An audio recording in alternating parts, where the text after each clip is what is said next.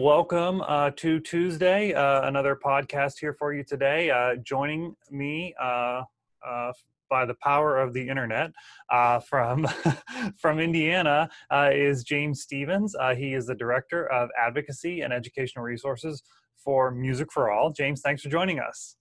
Thanks, Mark, for having me. And it's fantastic that you're doing these uh, these episodes, these shows. It's really cool. Yeah, it's great. We, we love to connect with folks like you who are out there um, doing things, um, especially at the at the national level. So um, James is with Music for All. So many of you would know one of their signature programs, which is uh, Bands of America Marching Band um, Championships all throughout the fall. But there's so many other things that Music for All does. Uh, James, kind of give us the, the the overview of what is Music for All.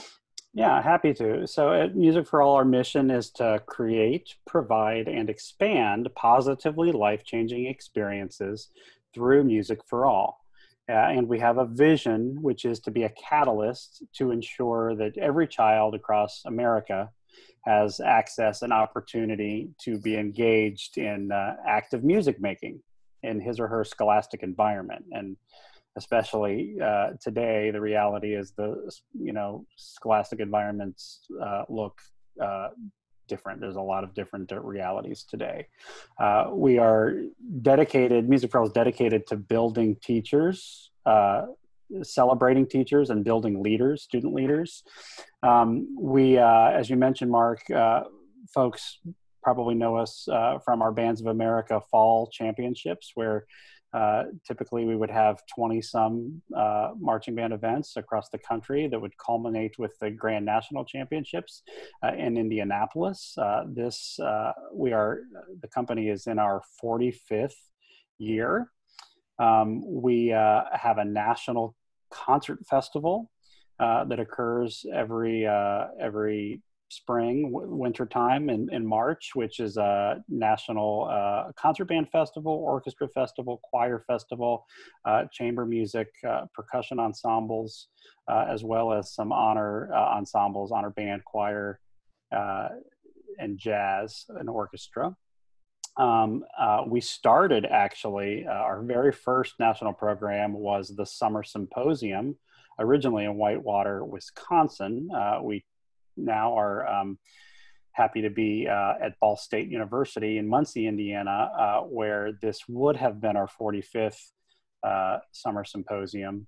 Uh, student um, divisions and a director's academy uh, that, of course, unfortunately was canceled in June with the uh, COVID realities being what they are. Um, but yeah, so again, building leaders, celebrating teachers through uh, kind of culminating performance opportunities and uh, spotlighting uh, some of the best um, examples of what uh, student musical performances are capable of. So one of the events you talked about, the National Concert Band Festival, um, was was actually happening right as as the nation shut down and you guys had to react very quickly in the middle of that. Um, talk to us a little bit about how you reacted there, and then how the the organization reacted, you know, after that. Yeah, we were uh, probably the worst possible week to have the national festival this year. Um, that week of March 9th. um, if it was a week earlier or a week later, uh, the realities of of how we dealt with it would have would have been uh, certainly different. Uh, going into it, we were extremely excited, Mark, because it was the largest. It was going to be the largest festival in our history. Uh, we were going to serve more than 3,300 student participants, and I think it was like more than 80 different ensembles, as I mentioned, the orchestra, choir, uh, band, chamber, um, and it's a, it's you know for those that don't know, it's a non-competitive event, um, and uh, so going into it, we had uh, a few different realities. We had some folks that uh, school districts were not uh, allowing them to travel, and so we had uh, just really going into that week some that were pulling out at, the, at very much the last minute. Uh, we had some that did make it on site and and were with us, uh, and then we, as things started to escalate, there was one night in particular where uh, our staff was on the phone and basically if you're on the road turn your buses around mm-hmm. uh, don't come to indy it was uh, it was that kind of a you know reaction. Um, the the outpouring of just understanding, you know, we, the ensembles that were with us on site really truly had uh, the time of their life. They were just uh, they continue to just uh, correspond with with me and my colleagues on just how uh, impressed they were with being able to uh, make uh, swift accommodations to uh, allow it, giving them performance opportunities, changing things around, um, and uh, giving them, you know, as much as we could within the uh, context of their being with us in Indianapolis. when it when it was all said and done, and we did uh, have to uh, close up shop early um, you know that kind of thing is a little is i'm not going to lie is, is is kind of catastrophic on the organization in terms of just uh, finances um, with uh, you know hotel rooms uh, our you know we have probably about 200 different um, evaluators clinicians conductors composers that that are work with all the different ensembles. Uh, some of them at the last minute couldn't show up. You know there was collegiate uh, you know, there was universities that basically uh, was uh, forbidding travel for their professors. Uh, some were with us, some didn't come. Some, again, we told to turn around, um, and uh, it was it was, you know, it was an example of servant leadership, I think, mm-hmm. and mission and vision driven folks. I'm speaking about my colleagues who just moved mountains to make uh, to make things as uh, as comfortable as possible for all of the uh, participating students, directors, and of course all of our wonderful uh, team of, of, of faculty. Um, it's interesting because after uh, sort of the dust I don't know if the dust has even settled yet, but uh, there are people that are still asking about the 2021 festival this March, and uh, we have extended the deadline uh, for uh, the application process, which is you know submitting a recording similar to you know like the Midwest Clinic mm-hmm. process or, or, or whatnot. Um, and we've actually made allowances to typically it's like a recording of your ensemble from the past school year, but you know in the spring a lot of folks, you know, were not able to do that. So we've uh, allowed it to go uh, further back. But I mean, I, I would be uh, foolish to say, I, you know, we, are, we've extended the deadline, but I, I don't know what, what travel, uh, you know, district policies and things will bring. So um, we uh, look forward to a day where uh, the National Festival, we can celebrate young students and, and their their work and and whether it's this March or in the future, uh, that's still uh, uncertain. But we're we're working to do what we can. And so I think the the the theme there was flexibility. You guys were immediately flexible, and in that moment, um, you know, made things happen. Uh, that flexibility has continued in then what the organization has done. So you kind of changed uh, we, have talked a couple times you say we you know we're an event planning association with and we don't know if we can plan events and and how we can plan events because that's so uncertain.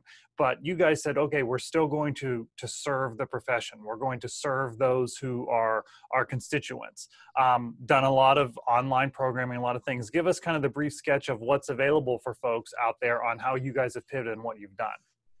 Yeah so exactly. Flexibility and we certainly have pivoted. Um, so our, our, summer symposium, as I mentioned, would have would have happened that last full week in June, uh, and of course was was canceled. And, per, and at the point of canceling um, the live event, we uh, pivoted that to uh, what we are calling or continue to call because we're doing it all summer. Essentially, is uh, summer sessions and uh, leadership lessons, which are just online.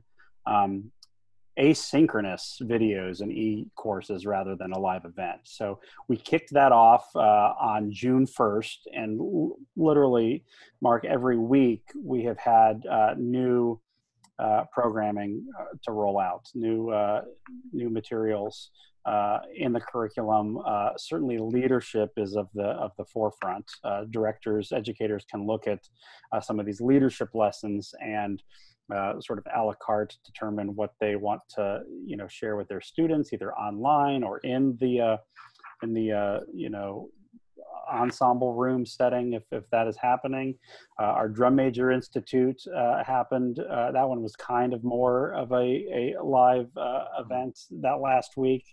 Uh, about 600, 800 kids that attended that. The curriculum for color guard, music production, concert band, our, our wonderful uh, Yamaha performing artists have given uh, so much of their time uh, to uh, present some of these online uh, sessions as well as some uh, from the Army Field Band actually. and just all of our summer symposium faculty and division heads have been very gracious to just provide these things. And as, as you mentioned, Mark, it's, it's, it's they're online and they're free.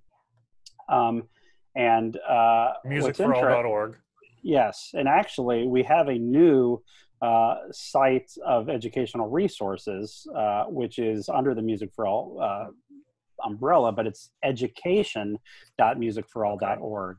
We uh, accelerated the release of that educational resource site um, during the spring as social distancing measures were, were, were taking place. Uh, so in early April, we uh, launched the new site, which features just uh, it's our home of new you know free resources featuring things like videos and articles and publications um, but one of the things that i did want to share is some of these uh, webinars again to talk about pivot and just kind of mm-hmm. new programming when you're an event you know uh, kind of production company that is not operating events right now uh, we're using our educational um, uh, you know uh, consultants to help us design some other things. There was a Patterns for Success uh, webinar that was uh, about uh, nine weeks of uh, student leadership development and also drum major training. Uh, during the spring, we started to get questions from folks going, "How do we how do we train our drum majors mm-hmm. when when uh, we don't have an opportunity to you know see them in the in the real space?" So uh, Patterns for Success, that nine week uh, uh, session is available online. It's, it was live, but now is recorded uh, and you can check that out. We did a. Uh, I know he's uh, my Jedi master of all things advocacy and probably yours as well, but Bob Morrison and Robert W. Smith came together to present a webinar which was titled What Now and How which was really presented by industry leaders, uh, kind of delivering solutions for instrumental music education during COVID. And that uh, is recorded and available online. But one of the, uh, you know, more important pieces on that site is uh, if you take a look at uh, our COVID 19 resources page there, there's a lot of just, you know, documentation on. Um, uh, what different organizations are doing now as a response to uh, safety and uh, you know testing of uh, you know wind particles and and, and performing of uh, instruments and and the the social distancing.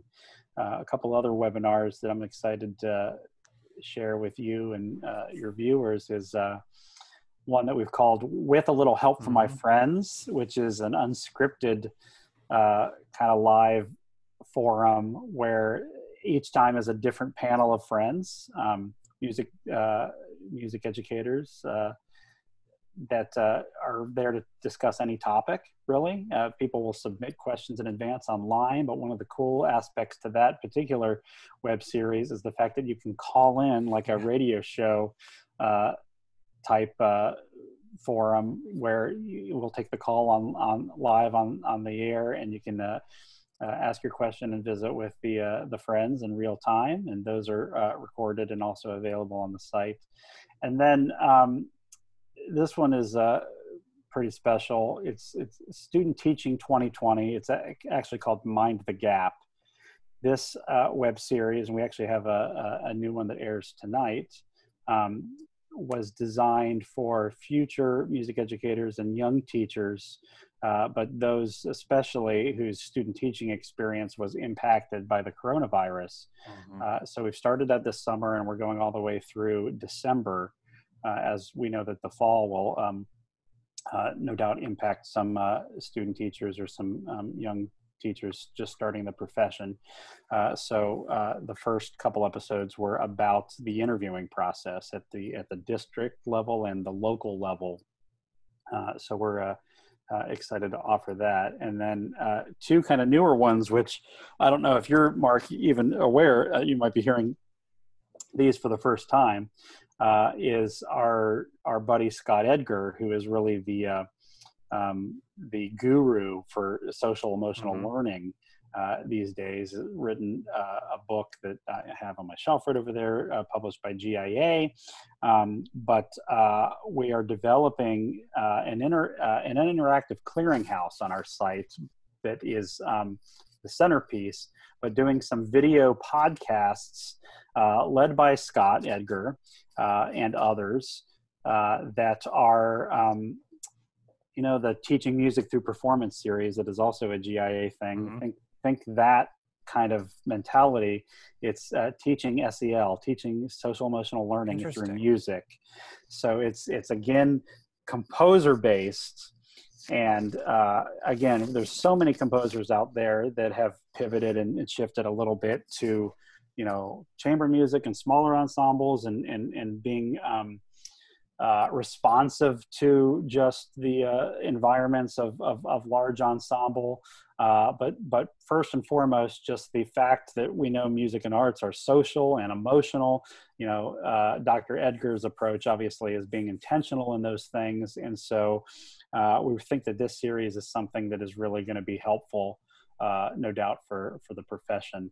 Uh, and then the last web series, and as I go through these, I'm just gosh, we're doing we're doing a lot. you uh, are. And I, and, I, understand that there's people out there that are just you know Zoom fatigue and web fatigue and all this kind of stuff. But uh, hopefully, there's something out there for everybody.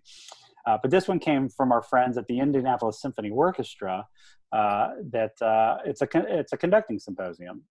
so Indianapolis hmm. Symphony and Music for All pairing together to prevent or not prevent, to present rather a four day conducting symposium for students in high school and college, uh, kind of curated and led by the uh, ISO uh, associate conductor, uh, Jacob Joyce. Um, it's, it's, it's designed to con, you know cover fundamentals of conducting and score study and, and all those kinds of things but it's almost our orchestra you know committee basically said you know in, in the way that band students get a chance to learn this if they want to be a drum major and and and that kind of thing it's like well what about the what about the string kids you know so this is sure. this is designed for them so that they can uh, look at it uh, from from just you know everything from conducting and all that but but but really just the uh, the art of conducting but even more so probably the uh, the job and the responsibility that a uh, artistic director or a symphony orchestra conductor does on a on a on a normal basis. So that it's it's something that we're looking forward to, and it's going to happen here uh, later this month, uh, the week of July twentieth. So, like I said, that's that that's a lot, uh, a lot going on. Yeah, yeah, and and it's and it's a it's diverse stuff, which is which I think is really cool. And we'll post the the website and we'll post your social media links as well, where people can find us. And I got to say, the one I love is the with a little help from my friends, um, because I just you know uh, to to the first one to listen to Tom Dean, who you know I just Castle is is is one of my you know favorite bands in the country. Absolutely, exactly. Uh, and, and then. Um, you know, I haven't listened to the, the, second one yet, but Darren Davis, right? I mean, broken right. arrow i mean like what can you say right i mean you you, you know that very well having having uh, having taught there um, so i just i think it's it's really cool that people can go and tune in and listen and, and just hear from these folks that you may never have that opportunity to sit down and talk to um, and and this provides that great opportunity. So so really kudos to you guys for this broad variety of, of great programming. Um, and another one of those pieces of programming is one that's that's kind of near and dear to my heart is the advocacy and action program that you have that that uh, is not new, but we, I guess you could say it's an infant. Uh, it's been around for a couple years here, um, and you guys have done a great job highlighting that on your social media lately too. So give us the the, the sketch of what that program is. We want to get people involved in that and tune into that. Yeah, no, and, and you are another advocacy guru and and just Jedi there. And again, you're uh, we're just thankful to have you, Mark, being involved in our advocacy and action um, advisory team. But um, do want to provide awareness, so thank you for the opportunity to speak about it. It is a signature program of Music for All, and it is designed really to collect and recognize and share effective practices uh, that mm-hmm. support obviously music education. Um, it's different than some other, I think, advocacy initiatives that tend to point to uh, statistics and data, and and of course, it's always you know that's important. You know the the the, the data and the numbers and the and the and the research behind it, and of course our great friends from the National Association for Music Education uh, and the NAMM Foundation both are just superheroes when it comes to um, you know standing up for uh, edu- music education and music educators on Capitol Hill uh, and, and and beyond, and the advocacy pieces that those organizations bring are. Uh, we uh, we collaborate with them uh, very frequently, as you know but advocacy and action for music for all is is designed to be a little bit more of a, a, a practical examples so, you know a clearinghouse uh, and we've used an awards program to sort of dangle the carrot and to uh, inspire uh, you know people are competitive a little bit you know to to see some award winning examples and go well we've got something too that we want to share. Uh, so certainly we celebrate the winners uh, but we hope that more than anything, it inspires others to take action in their own programs and their own communities. Almost, you know, similar to again, I'm going to mention our friends at NAMM, their best communities for music education program. Um, you know, shines a spotlight on those uh, those are advocating uh, in their in their world. Um, so we're doing that, and you will see on our, you know, if you uh, follow us on social social media, Music for All or uh, Bands of America, Orchestra America, we have um, recognized some winners in our six categories. So we have six categories that include um, recruitment and retention, uh, community engagement, marketing and promotion, parent booster involvement, fundraising and sponsorship, and uh, decision maker interaction. And um, those six categories, my approach really has been to almost treat them like a lesson plan you know mm-hmm. music educators or program designers to approach their program as the ceo of their program and to consider sort of those six pillars when working uh, to develop a well-rounded program you know advocacy needs to be you know thought of as a as a wellness routine rather than a 911 emergency oh my gosh our program is being cut. And i think that if you were looking at those six categories uh, you know pretty frequently through through your approach to your music program um, you will hopefully be not just uh, surviving but like we like to say is is, is thriving. Um, so we are um, as you mentioned continuing to uh, spotlight those winners from the last uh, cycle of uh, applications um, though I will say I don't want uh, I don't I'm not tone deaf to the fact that the uh, environment that we live in now has changed drastically. So when you see some of these examples, uh, these winning examples that folks have done, you know, in the classroom, you could certainly look at it and go, well, I don't know how I can do that right now. You know, I tend to kind of go, if I can get a great idea and massage it even and go, well, I like right. what this person did, but if I could uh, tweak it a little bit and run with it, uh, that's where we are. I think now more than ever, um, our advocacy and action program needs to kind of, you know, focus on. I've been using the the term advocacy now. Like, what are folks doing now to um, make their students the uh, spotlight their students to be the celebrities of their community, uh, but also what are they doing to, to emphasize the importance of, uh, of that curricular subject. And, um, and so I think that uh, just like anything, the advocacy and action program that we're doing uh, will probably uh, evolve and organically uh, turn into, you know, become what the profession needs. but certainly uh, hope that uh, those uh, tuning in will check out uh, advocacy.musicforall.org uh, because the best thing about it, I think, aside from the fact that it's free, is that it's just like, you know, whether you go to recruitment and retention or you go to community engagement, you're seeing these examples. Yeah, we talk about the winners, but the assets that are um, you know attached to the example shows you exactly you know whether it's uh, pdf documents videos photos the the the supplemental materials about how they did it and how it impacted yeah. and and and the the rationale behind it is is is probably truly the most important piece of it and that's what makes this one so unique uh, like you said there's other awards programs out there but this like this is the okay yeah it's an awards program but go look and you can see the how. You can drill down and then that's where you can take what might work for your program or or at the very least to get you thinking of some ideas. It's not just abc school did great in this area. Here's how they did it and not just here's the title of what they did. Here are the the assets. I think you're absolutely right yeah and there's you know there's programs out there that you and i don't know that sure. are there's a there's an there's a master teacher out there that is doing something just so creative when it comes to you know community engagement or fundraising and sponsorship that it's like share that story so that others can uh, be inspired and also replicate it so and i think it's just it's another example of what of the good work that you guys are doing to really connect folks in all segments of of the world that that we live in in, in, in music education so okay so i'm going to throw out the last question to you which is the one that i kind of throw out to everyone and i, I put the caveat of you know we're not going to hold you to this uh, in two years when we when we look back at all these videos. But um, he, here we are. It's July seventh. Uh, you know, getting closer to school starting, but still a lot of unknowns for even the fall, for the next year, the year beyond that.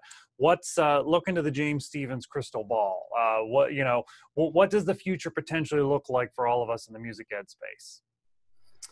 You know, that's that's such a hard thing, and again, that's why you're saying crystal ball. Um, you know, a couple weeks ago, we were approaching the fall in terms of our marching band uh, programming with you know stay the course and and uh, if we build it, they will come. Uh, but there's just been more and more uh, you know numbers escalating as as folks have opened up for business uh, and things are looking um, bleak and, and, there's just you know a lot of concern out there and a lot of the concern actually tra- traces directly to uh, school district uh, you know travel restrictions. You know if they have to spread around students on the bus so that they're not sitting next to each other or you know some of our uh, championship events you know grand nationals you know folks have hotel stays and and so or sometimes they you know we're sleeping on the gym floor like the like the drum corps do. I mean all those are looked at now as um, with, with a certain eye of caution and, and concern. And so uh, we don't know exactly what uh, what the fall will be, though uh, we continue to re- want to respond to what um, educators and students need. Uh, social emotional learning is, is is a big piece. I think that we all need to embrace. I mean, if you talk to, again, our buddy Scott Edgar, he'll remind you that it's something that has been around since the 90s, but it's, you know, the, the, the, the fresh buzzword right now because in, in many cases just to be blunt it might be saving jobs and, and keeping the profession um, uh, vibrant and and, uh, and, and, and necessary uh, because there's just a, um, I know I'm pivoting from the answer to the question a little bit, but there's there's students when we bring them back together and they come together, whether that's this fall or next school, whatever it is, they're all experiencing some sort of loss. You know, sure. they've they've lost loved ones, they've lost monumental events. Um, there's there's there's a certain amount of uh, emotional needs that uh, that have uh, need uh, you know attending to and i think now more than ever uh, the student need is always has, needs to be a priority but i think now uh, we're looking at it differently. Um, from an organization standpoint, Mark, I mean, we've tried, you know, one of the biggest things that um, in the spring and so far this summer, folks have asked us is uh, how to teach music online if they're having to do it online. We saw lots of great examples this spring, uh, you know, having folks having to respond from March to the rest of the school year, but uh, you know i'm sure even at progressive music and starting beginners is is a thing that folks are looking at going how do we do this mm-hmm. um, i don't know long term if if this is where we're going but where we are right now just as a as an organization music for all um, we responded to that need and that question um, with an instrumental instruction uh, online offering through uh, through Music Professor, right. um, and that's uh, high high quality lessons, all level students. I mean, it's literally beginner, intermediate, advanced. I mean, there's like I think a, uh, Texas All State Etudes in there at the advanced level. You know, it's it's there's uh, over five thousand different video lessons taught by some just fine fine faculty woodwinds, brass, percussion, uh, music theory, and conducting are, are, in there as well. Um, and I, I guess I say that in relation to your question, in that we're not uh, wanting to uh, minimize the importance of um, a private instructor. Um, or, or anything like that, you know, but that this might be an answer to um, whether it's in the classroom or remote learning or a blend of both, uh, something that is a resource, something is a tool. So I, I'm not so foolish to predict what I think is going to happen and are we going to be back in school and what's the profession look like. But I think that through the lens of social emotional learning, um, I think that the profession uh, can and should and, and, and will be here uh, for a long time. The other part is that it is uh, no um, prediction, it's fact, I think, that some of our educators are some of the most creative people on the planet. And so uh, I think it was John Mackey, you know, band uh, composer, who said something like recently, like, you know, this is uh, forcing us or offering us the opportunity to be as creative as we possibly can uh, you know, when, you know, if we can move from um, doom and gloom to, you know, and come up with the solutions to just you know how we, how we can do our job. If, if administration or your school board is going here are the parameters uh, instead of just pulling your hair out and going how can i possibly do that?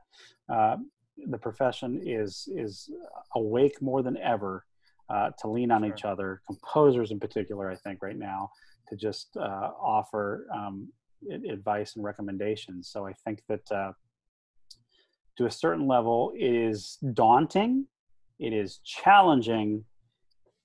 I'm not going to lie, it is scary. Mm-hmm. Um, but you know it's like if you've been dealt this you've been dealt it because i think that you can handle it and if we can come out on the other end uh, stronger and better than ever um, let's do everything we can to make that happen so i i, I feel like i've uh, in a politician's answer dodged question perhaps but i it's you know um, I'll, I'll, last thing I'll say, I think, is that uh, I think it's Susan Smith, one of our um, dear uh, educational consultants, said we, we have to we have to abandon the idea of you're a band director or a choir director. It's it's it's music teacher first right. and foremost, figuring out how we're going to inspire um, students. Greg Bimm, who's a great friend who teaches uh, in Illinois, Marian Catholic High School, um, you know, shared with me this past spring on a phone call. He's like, James, I'm doing some amazing music history, playing recordings sure. for kids, talking yeah. about theory and things that, uh, you know, we never really had the time for. I mean, you know, you can make the time, I guess, but it's like you you you you pivot, and uh, it's just it's been rewarding for him. It's been rewarding for his students. So I think um, to just uh, be open minded and and, and a fresh approach. And to the young music educators out there who said, "I want to go do this because of what they experienced, and now the world has changed." I also think that the the the uh, the people entering the profession right now can probably help us uh, more than ever with with creativity and an open-mindedness uh, where sometimes uh, seasoned some seasoned educators sure. who get uh, uh, you know kind of in their in their groove uh, hopefully even the, the, the younger folks can maybe um, give us give us some hope and give us some some great creative nuance and I, I let, let me sum up your answer by saying I, I just think that that this is probably I like what you said. Here's here's a fact, not a prediction. The the fact is that um, everyone's going to have to adapt, and that is going to breed, breed a lot of creativity. So I, I think that educators will adapt. It's obvious Music for All has adapted from from minute one when you were in the concert band festival and had to pivot and adapt. But as you've continued uh, you guys have certainly shown that that, that you're adapting. Um, i will again we'll, we'll, we'll provide all the links but i'll tell people again musicforall.org and you can find all those sublinks there of the education and the advocacy stuff. Um, check check out what they're doing. Follow them on social media. Uh, a lot a lot of really great stuff to serve the students and to serve the, the profession. Um, James Stephens, Director of Advocacy and Educational Resources at Music for All, thank you for taking the time um, to be with us. I really appreciate your time. Thank you, Mark. It's uh, been a pleasure. Thanks so much. All right. And for all of you, we'll see you next time and make sure you check out uh, all of the resources.